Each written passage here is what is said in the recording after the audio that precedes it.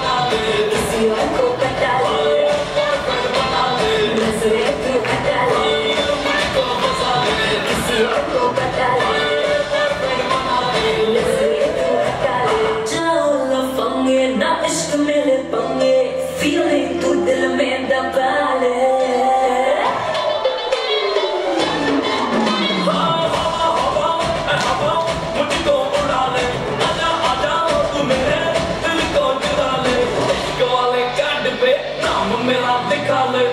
Yüzümü